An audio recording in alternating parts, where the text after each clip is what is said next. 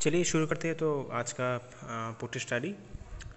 आज मैं ऐसे इंसान का पोर्ट्रेट बनाऊँगा जिसका नाम है पंकज त्रिपाठी। पर्सनली मुझे इसका एक्टिंग, इनका एक्टिंग बहुत ही पसंद आता है, मुझे अच्छा लगता है बहुत ही। इसलिए मैंने सोचा कि क्यों ना एक, इनका एक पोर्ट्रेट बनाया जाए। तो शुरू करते हैं, आप लोग ध्यान से देखिए। पहले तो मैं पोर्ट्रेट को समझने की कोशिश करूँगा। थोड़ा थोड़ा जहाँ पे डार्क है, वहाँ पे थोड़ा थोड़ा डार्क डाल के। और जो लाइट पोर्शन है, वहाँ पे लाइट छोड़ के आप देख सकते हो। अब मेरा ये रफ़ कलर डालना ख़त्म हो गया है तो मैं अभी धीरे धीरे डिटेलिंग करूँगा। आप लोग देख सकते हो कि यहाँ से मैं आई से स्टार्ट कर रहा हूँ, फिर उसके बाद धीरे धीरे ऊपर नीचे जो डिटेलिंग है, वो बाद में करूँगा।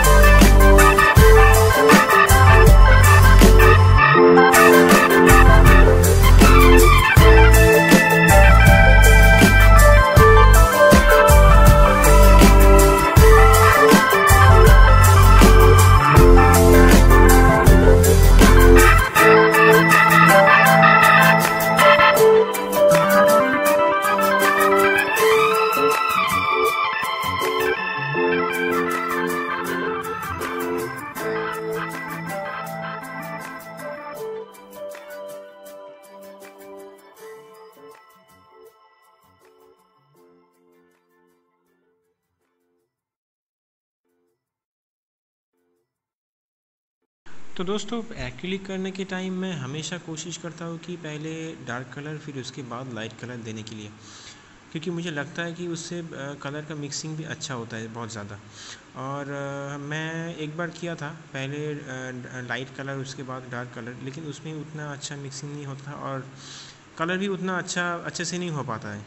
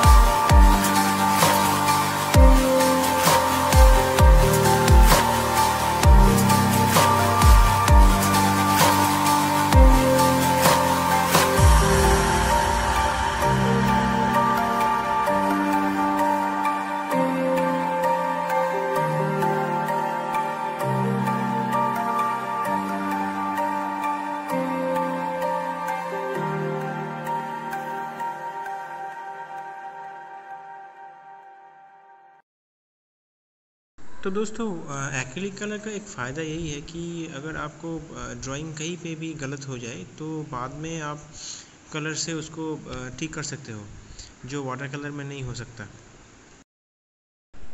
जैसे कि यहाँ पे भी आ, मुझे कहीं कहीं जगह पे लग रहा है कि थोड़ा गड़बड़ हो चुका है वो मैं बाद में ठीक करूँगा जैसे कि वो आ, सर पे थोड़ा राइट साइड में थोड़ा सा मुझे ठीक करना पड़ेगा। और नीचे वो गाल पे भी थोड़ा सा ठीक करना पड़ेगा, जो कान के नीचे है, लेफ़्ट साइड में।